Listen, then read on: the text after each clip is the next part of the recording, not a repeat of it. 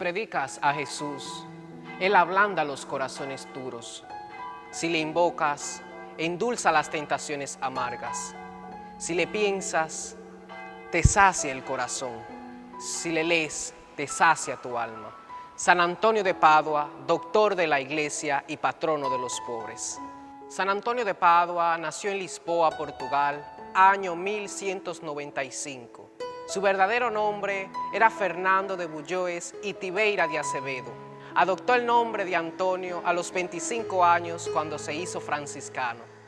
A San Antonio de Padua se le representa con la imagen, con el niño Jesús en brazos, porque fue testigo de una aparición del niño Jesús, a quien sostuvo entre sus brazos.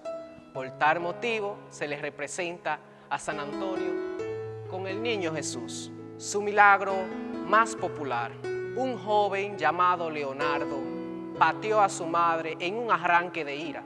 El joven arrepentido confesó su falta a San Antonio. San Antonio le respondió, el pie de aquel que patea a su propia madre merece ser cortado. Leonardo corrió a su casa y enseguida se cortó el pie. San Antonio al enterarse de esto, tomó el pie amputado del joven y lo restituyó milagrosamente a su cuerpo. Esto sucedió para la gloria de Dios. Era un gran predicador.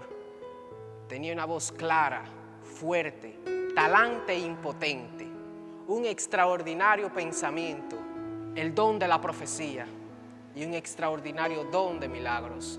Una práctica muy popular es pedirle a San Antonio un esposo o una esposa, de tal manera que llegan a colocar la imagen del santo a boca abajo esto se debe a un sincretismo religioso, una práctica no adecuada y anticristiana.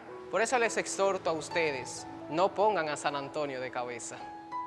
La canonización de San Antonio de Padua fue una de las más rápidas dentro de la iglesia.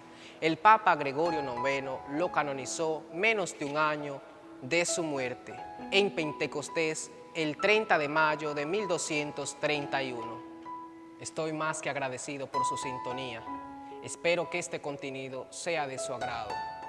Volvemos a una pausa para continuar con más contenido de Municipio Monción TV. Recuerden, conoceréis la verdad y la verdad os hará libres.